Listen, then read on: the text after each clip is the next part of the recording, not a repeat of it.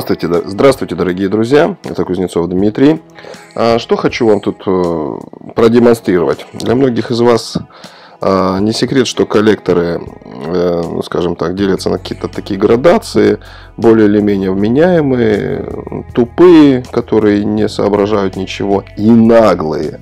Наглые, которые откровенно верят в свой бред и не хотят задуматься. То есть они даже хуже, чем тупые. Тупые, ну, знаете, по скрипту долбят, а есть коллекторы, которые прям вступают в дискуссию и продолжают демонстрировать свою некомпетентность.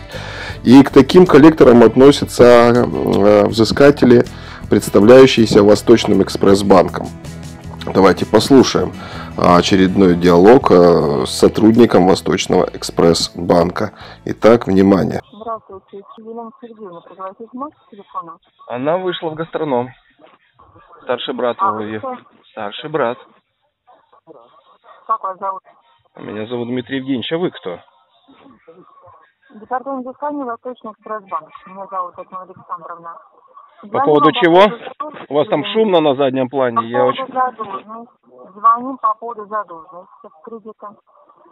Елена Сергеевна, вы на сумму оплате 84 тысячи. Требования платить сегодня либо завтра.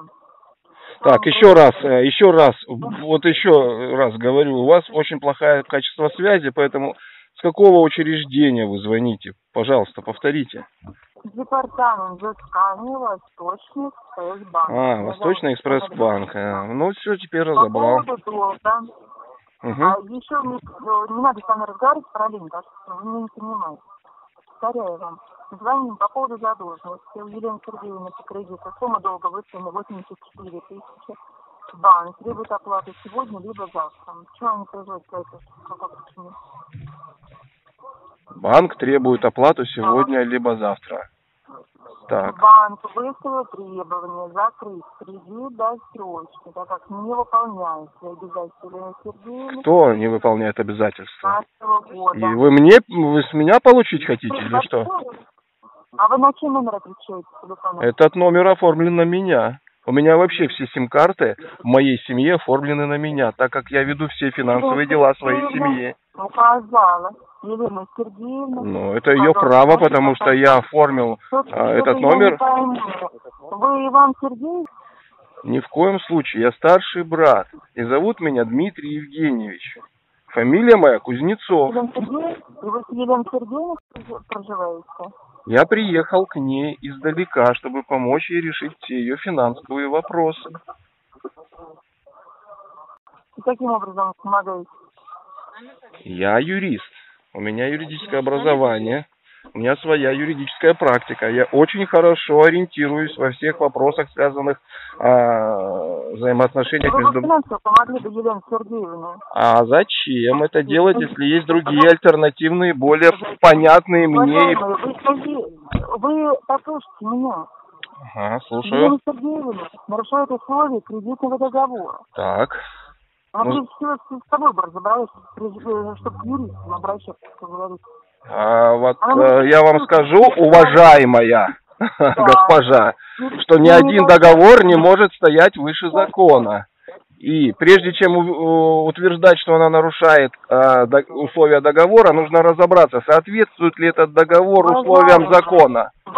Меня Дмитрий Евгеньевич зовут, я вам представился. Не надо со мной как с туркой разговаривать. Елены Сергеевны спрашиваете секретанте об оплате, если вы юрист.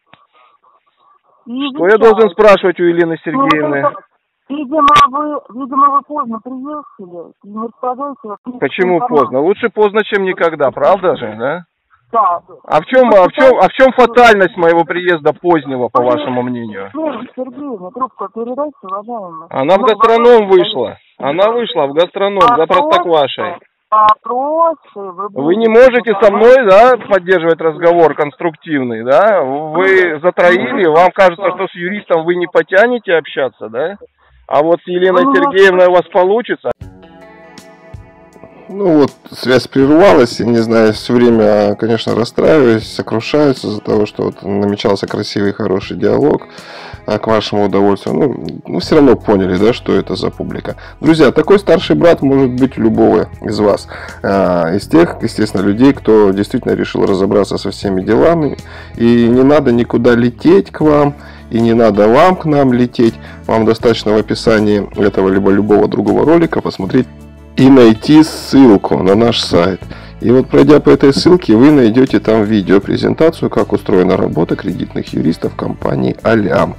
Там все по полочкам разложено, и трудно не разобраться, точнее вообще все сделано так, чтобы любой простой человек, обыватель без вообще намеков на юридическую компетенцию, мог разобраться э, в ситуации сложившейся и что мы ему предлагаем. Поэтому если вы решили раз и навсегда покончить с долгами, причем официально по бумагам, что называется, посмотрите, не поленитесь видео на нашем сайте, а примите то самое важное решение и сделайте все по инструкции. А, оставьте заявку, и в рабочее время с вами свяжутся наши специалисты. Ну, за ролик прошу вас поставить лайк, кому не жалко, а также репост в соцсетях, чтобы еще как можно больше людей узнали о том, какая правда на самом деле нас окружает. А, и перестали слушать всякую чепуху вот из уст таких а, горе-взыскателей, горе... Э, как это назвать-то? Э, сотрудников банков, там, я не знаю, творящих доброе дело, как они почему-то думают. Ссылочка на нашу группу ВКонтакте в описании есть. Пожалуйста, вступайте в группу, там все ролики дублируются. С вами был Кузнецов Дмитрий, Центр юридической защиты, компания Алям. Всего вам хорошего. До свидания, друзья.